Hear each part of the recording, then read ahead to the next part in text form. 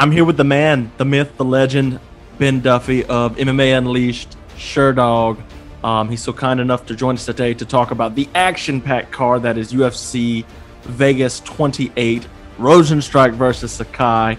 And I'm getting really tired of UFC Vegas 29, 30, 31, 32. Let's go to some new places, bro. Or let's name them different. One of the two. I'm, hey, I'm, I'm all for it you know, it's confusing because I work for an outlet, Sherdog, that numbers them according to the old way. So this is UFC Fight Night 189, then it's UFC Vegas 20. Uh, it's it making my brain come out of my nose holes, man. It's it's too much. Let's just go boxing's way and name it after the fighters because you know that's why we're watching anyway. But UFC's branding is not going to let us do that. Nope. Nope. UFC first. Yep. The brand is bigger than the fighters, according yep. to them. Yeah. Well, that's no, we, that's that. We can go into that all day. We're gonna we're gonna preview a fight. Um, there's not many on this card. Mainly, we are going to talk about the main event: Jairzinho Rozenstruik and Augusto Sakai. Uh, heavyweight bout. Rozenstruik is coming off of uh, what is it? A loss, a win, and a loss to Ciryl Gane, Junior Dos Santos. He beat, and then that awesome loss to Francis Ngannou. Sakai has been a sleeper kind of in the division. Um, he did lose to Overeem in a pretty bad fight, but since then, uh, but before then, he was one, two, three, four, and zero oh in the UFC with wins over Sherman, uh, Arlovsky, Tybura, and Blagoy Ivanov. So, Ben, uh, first thoughts on this fight? Um, it's interesting, but it really doesn't mean anything in the grand scheme. What are your thoughts on it? Well, anytime you have a headliner, especially in the UFC, between two fighters coming off a loss, it can have all kinds of different flavor.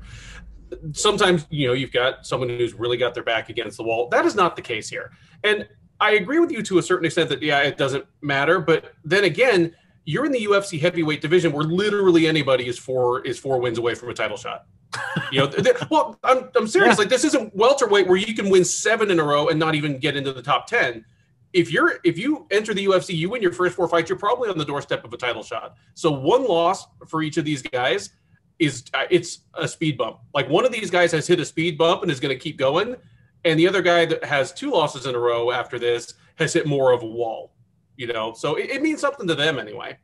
Yeah, and, and they want to go out and win every fight. They put a lot in this, but I guess that was a little bit disrespectful on my part. But in terms of the rankings and stuff, this is kind of a um, I would put this on the prelims of a fight night card the, to lead into the main card. This really, to, to me, that's not a, this isn't a main event contender.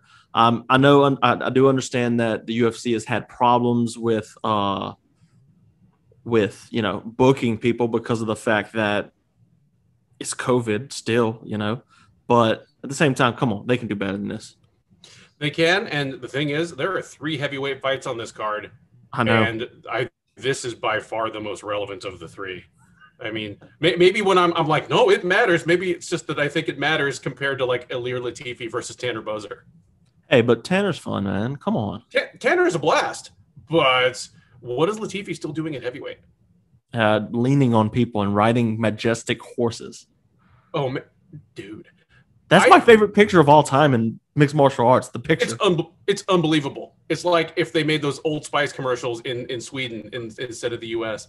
But after seeing Chris Barnett against Ben Rothwell last week, now I want to see Latifi versus Barnett in, at like UFC 267. You must be this tall to ride.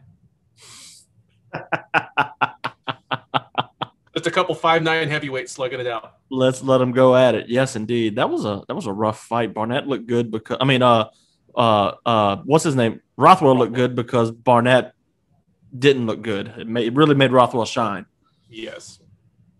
So, give me your take on the actual fight itself. We know the implications. We're, we're not too big on them and stuff, but stylistically, this is actually a decent fight. Rozenstruik got popped. Sakai can hit too. Um, you know, he's he's been creeping his way up in the heavyweight division. What's what's your what's your thought on this fight? Uh, the the good thing about this fight is it's probably going to be a banger. When you get two heavyweights in there, all the all the way up to like say the top five, there's every chance you're going to get a miserable fight with just two dudes sucking wind and just a death march. Especially because this is scheduled for five rounds, but this one should be fun.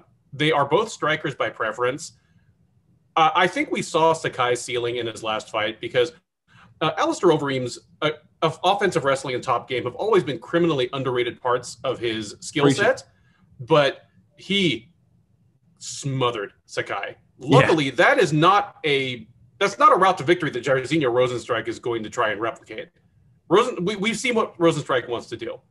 You know, he wants wants to knock your head off. Uh, the question hanging over him is in the Ciryl Gane fight, he did not pull the trigger. It was one of the more shocking changes in fight approach that I've seen midstream from a fighter. Like if you look at the Rozenstruik that went out and got shellacked by Ngannou, and the Rozenstruik that had led up to there, you know, winning his first several UFC fights, versus the gun shy fighter who was out there against Gane, it was it was stunning and it's a little concerning because Sakai is going to be another kickboxer. I mean, he's might not be a Ciryl Gane level kickboxer, but he's going to be another kickboxer who again is tall, rangy. I mean, he like you know he looks like he got a little spare tire and stuff, but he is a long limbed guy. He's had like an obvious reach advantage on most of his opponents. If Rozenstruik goes out and puts out another performance like he did against Gane, that's really the only way this fight sucks. I'm going to uh, rewind you a little bit there. The Overeem fight also was kind of trigger shy.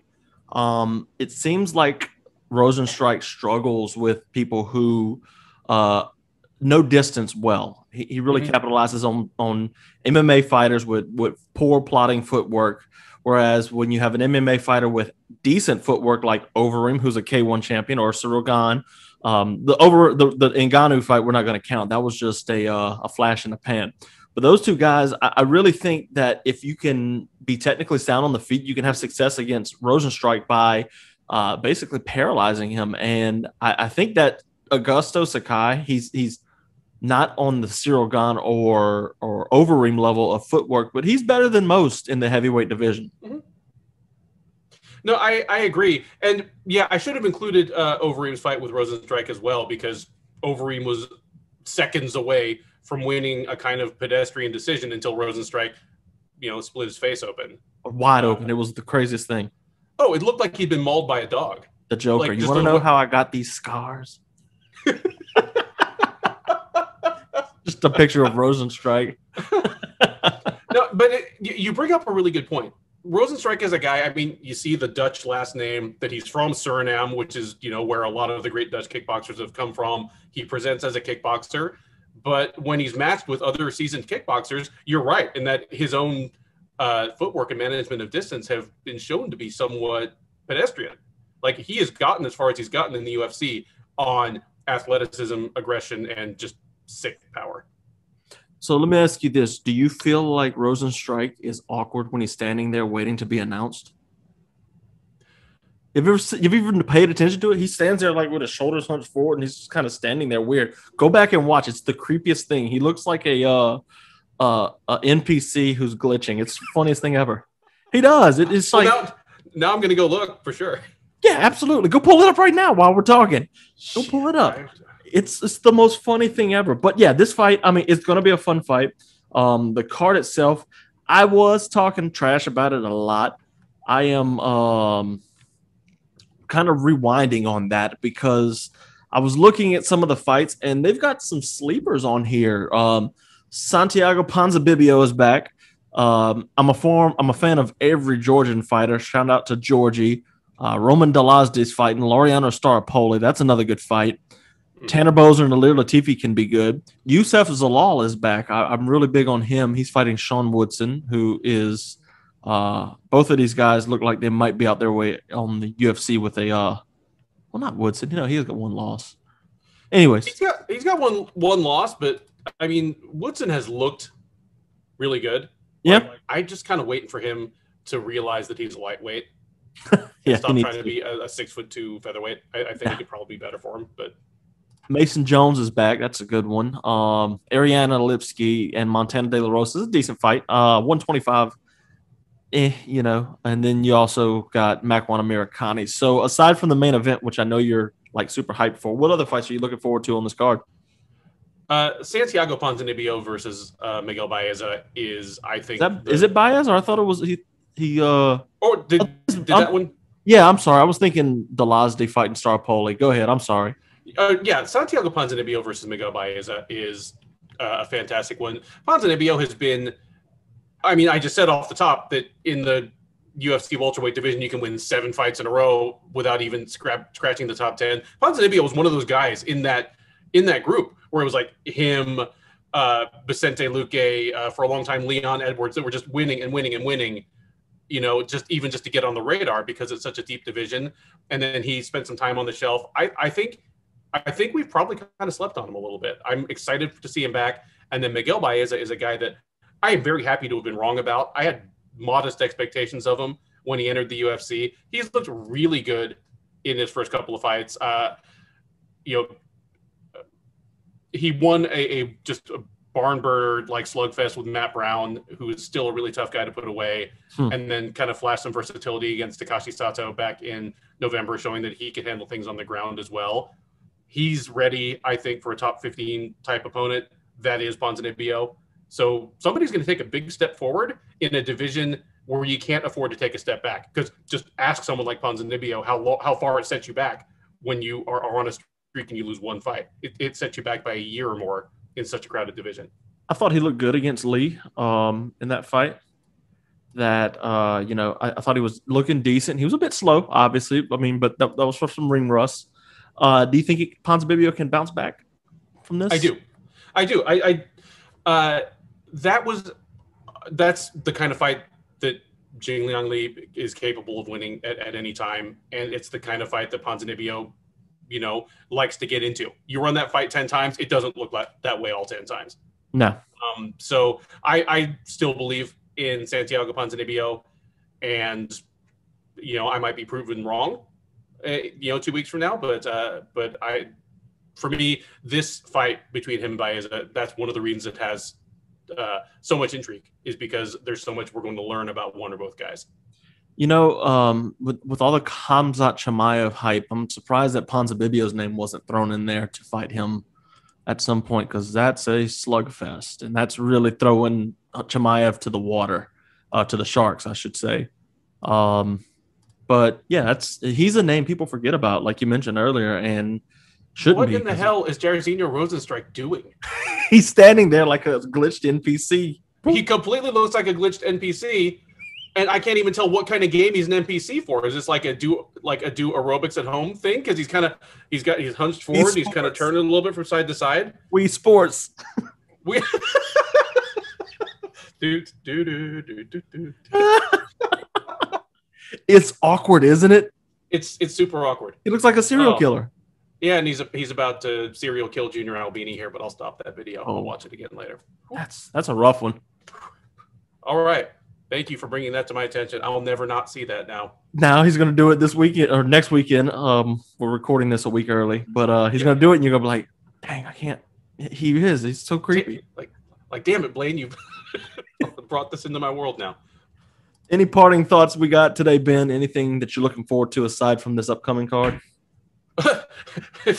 I'm looking forward to the card after it. UFC uh, 263. Uh, but no, there there are some some treasures on this card. Just have to do a little more digging. I'll be watching it as I watch all of them, and yeah, you know, uh, Alan Patrick versus Mason Jones, great fight. Just yeah, the more I look at it, the more I'm like, oh yeah, after a week off, I'll be ready to eat this right up. Yeah, well, they're they're spoon feeding us crap, and we're gonna eat it.